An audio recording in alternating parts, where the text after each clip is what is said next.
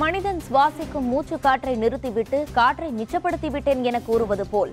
மக்களின் சமூக பாதுகாப்பு திட்டங்களை நிறுத்திவிட்டு வருவாய் பற்றாக்குறையை இரண்டு மடங்காக குறைத்துவிட்டதாக நிதியமைச்சர் பிடிஆர் கூறுவதாக முன்னாள் அமைச்சர் ஆர் பி உதயகுமார் விமர்சித்துள்ளார்.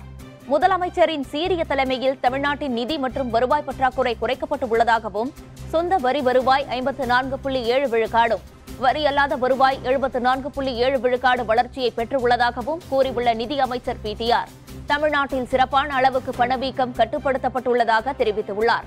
இதற்கு எதிர்ப்பு தெரிவித்து வீடியோ வெளியிட்டிருக்கும் முன்னாள் அமைச்சர் ஆர் பி உதயகுமார் வீட்டு வரி உயர்வு சொத்து வரி உயர்வு மின்கட்டண உயர்வு குடிநீர் வரி உயர்வு சாக்கடை வரி உயர்வு என எல்லா வரிகளையும் உயர்த்திவிட்டு வருவாய் பற்றாக்குறை குறைக்கப்பட்டு விட்டதாக அமைச்சர் கூறுவதாக குற்றம் சாட்டியுள்ளார்.